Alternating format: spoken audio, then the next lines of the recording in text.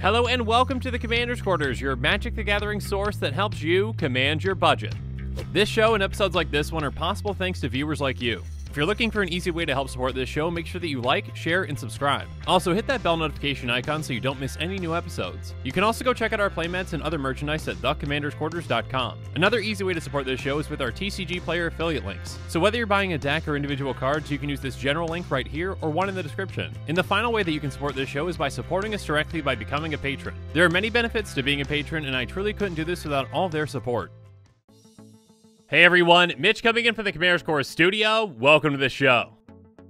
So it's day two of Dungeons and Dragons Adventures in the Forgotten Realms spoiler season extravaganza thingy. Yeah. Anyways, that doesn't get easier to say the more I say it. Regardless, we've seen a lot of really exciting cards like Circle of Dreams Druid, which just might be a brand new Gaea's Cradle as a creature. We also saw Treasure Chest, a card that says roll a d20 and then some shenanigans can occur. And yes, this is the very first legal black border card that says roll a d20. We've also seen Xanathar Guild Kingpin, who essentially is a, well, Sen Triplets light. Let's just say that. So we've seen a ton of exciting cards so far this spoiler season, and things have continued on day two with Wish. Now this is a really cool and unique card, but there's just one small problem. It doesn't work in Commander. At all. Now it's not banned, but what it does basically is. So what is this card and what does it do and why is what it does not legal in Commander? Well, let's jump into it to find out.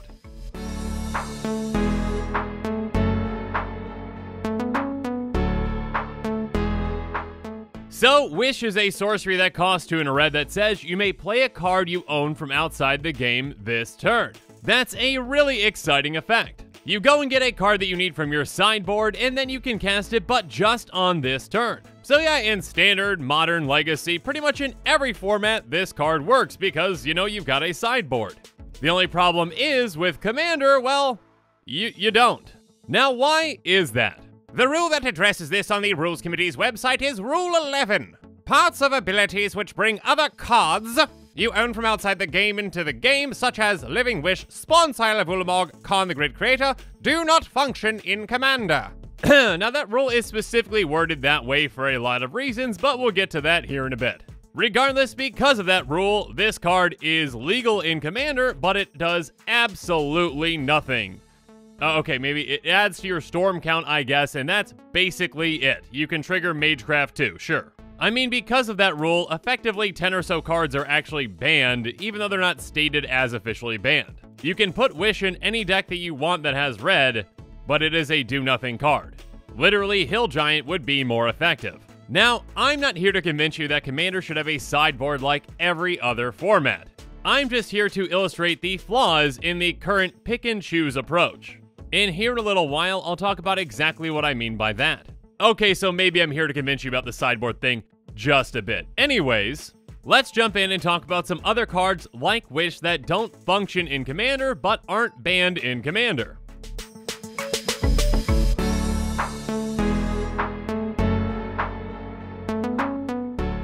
So first up, other cards that don't work in Commander but aren't banned like Wish are, well, the Wishes. Living Wish is one of five wishes from a cycle of one of each color. Living Wish is a sorcery for one in a green. and It says you may choose a creature or land card you own from outside the game, reveal that card and put into your hand, exile Living Wish. For the most part, each card in the cycle gets a different kind of card. And there's kind of a sixth card of the cycle, which is Glittering Wish. Glittering Wish is a sorcery for green white, and it says you may reveal a multicolored card you own from outside the game and put in your hand, exile Glittering Wish. So, from your sideboard, you can get whatever multicolored card you need for the situation that you're in. And you might recognize this one as it was reprinted recently in Time Spiral Remastered. But one that came out in a more recent set was Coax from the Blind Eternities. This one came out in Eldritch Moon, and it says you may choose an Eldrazi card you own from outside the game, or an exile, reveal that card, and put into your hand.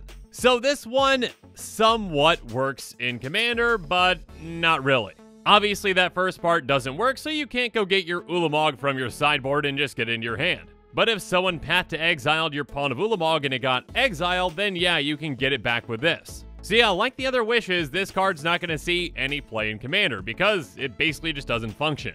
And speaking of a non-functioning Eldrazi card, well, at least in a way, there's Spawnsire of Ulamog. It's a 7-11 Eldrazi with Annihilator 1 that costs 10. By paying 4, you put 2 0 1 colorless Eldrazi spawn creature tokens onto the battlefield. They have sacrifice this creature, add colors to your mana pool. But the reason this one's on this episode is that it says pay 20, cast any number of Eldrazi cards you own from outside the game without paying their mana cost. Now, if you can get to 20 mana, that's a really, really cool effect, but unfortunately it doesn't work. Again, parts of abilities which bring other cards you own from outside the game into the game do not function in Commander. So no fun times like that with Spawnsire of Ulamog, though it does still see some play. And so does Karn the Great Creator. It's a Planeswalker that costs 4 and has 5 starting loyalty and says activated abilities of artifacts your opponent's control can't be activated. Its plus 1 is until your next turn up to one target non-creature artifact becomes an artifact creature with power and toughness each equal to its converted mana cost. But it's minus 2, which is why it's on this episode, says you may choose an artifact card you own from outside the game or an exile, reveal that card and put it in your hand. So again, like Coax from the Blind Eternities, this somewhat works, but not really. Again, you can't get something from outside the game, and chances are you don't have an artifact in exile. Or how about Mastermind's Acquisition, which is a sorcery for 2 black black and it says choose one. Search your library for a card, put it in your hand, then shuffle your library, or choose a card you own from outside the game and put in your hand. Again, you essentially don't even have a choice with this one, though it does say choose one, you've got to pick that first option. Because if you pick that second option, nothing happens. So it's just essentially a rare Diabolic Tutor. That's basically it. But we even have some more recent cards that have interacted with outside the game with Vivien Arkbow Ranger, Fae of Wishes, and the Raven's Warning. Vivien does it with her minus 5, which says you may choose a creature card you own from outside the game, reveal it, and put in your hand. Or basically, yeah, this Planeswalker just doesn't even have an ultimate in Commander because you can't do that. And then with Fae of Wishes, the Granted Adventure on it says you may choose a non-creature card you own from outside the game, reveal it, and put in your hand. So, no going on adventures for Fae of Wishes, or at least, I mean, you can still go on the adventure, but you're not getting anything out of it. And then the Raven's Warning is a saga, and its first lore counter is create a 1-1 blue bird creature token with flying, you gain 2 life. Its second lore counter is whenever one or more creatures you control with flying deal combat damage to a player this turn, look at that player's hand and draw a card. And then the last lore counter says you may put a card you own from outside the game on top of your library. Or essentially, in Commander, that third lore counter means do nothing. You just lose your saga, you got those first two things, but yeah, that third one, not getting anything out of it. So kind of an anticlimactic build-up there. Seems like more and more recently we're getting more and more cards that interact with outside the game, with obviously Wish being our newest example. I find all of this very problematic for quite a few reasons. One reason is that this makes something incredibly confusing for new players. The cards aren't banned, but they don't work. So can you really fault a new player that assumes that there's a sideboard that you have access to when you're playing these cards? Or are you just supposed to know that only one half of Mastermind's acquisition or just part of Spawnsire Ulamog works? I mean, something like Karn the Great Creator sees a decent amount of play, and part of it doesn't work, so that can be pretty confusing for players when they see it on the field. And again, a new player coming into the game might see Wish in this new set, get really excited about it, and put it in their brand new first Commander deck, and then they're told that this card doesn't work, and they should just get rid of their sideboard entirely as well. Reading the card explains the card unless you're playing Commander and you're talking about outside the game. Implementing a sideboard in Commander is not difficult. All you have to say is 15 cards that follow the exact same deck restrictions. That's it. So if you've got a mono green commander, you only can use green cards in your sideboard and you cannot have duplicates. It's that simple. The small group in charge does not want this to happen though, and they just pick and choose what they do want to happen when new things come out. So let's jump into some examples of that from recent memory.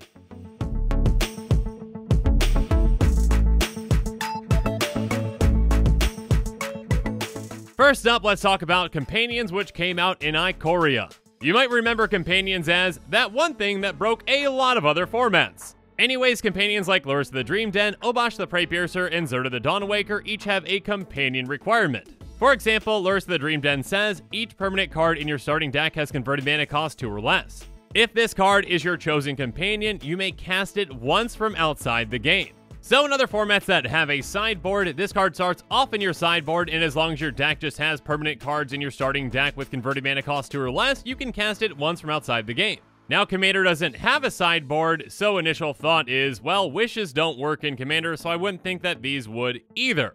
But again, because of the pick and choose nature when it comes to outside of the game rules, they do. In deck construction rules, rule number three is a commander deck must contain exactly 100 cards, including the commander. If you're playing a companion, it must adhere to color identity and singleton rules. While it's not part of the deck, it's effectively a 101st card. So let's just break this down really quick. Companions are not a part of your deck. They are a 101st card, but there's no outside the game for other cards, but there is for, for these. And also, we're just going to change the 100 card rule that we've had forever specifically for this, instead of, you know, just having a sideboard, which these would be in. Because again, Rule 11 is very specifically worded Pots of abilities which bring other cards you own from outside the game into the game do not function in Commander. These cards bring themselves. So, because again of that very specific wording, they work and wishes don't. But for an even more recent example of the pick and choose approach, let's talk about Learn and Lesson from Strixhaven.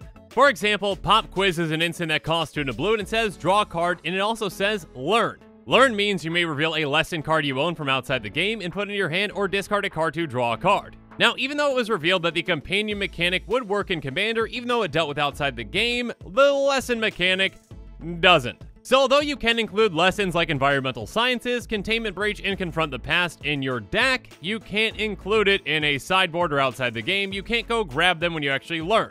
So instead, Learn in Commander essentially means you may not reveal a lesson card you own from outside the game and put in your hand, you just may discard a card to draw a card. Basically, in other words, Learn equals Rummage now. So again, why weren't rules changed for this, but they were changed for the companion mechanic where they kind of, you know, shoehorned in a, a weird rule where you can now have like a 101st card that's like outside the game but not really?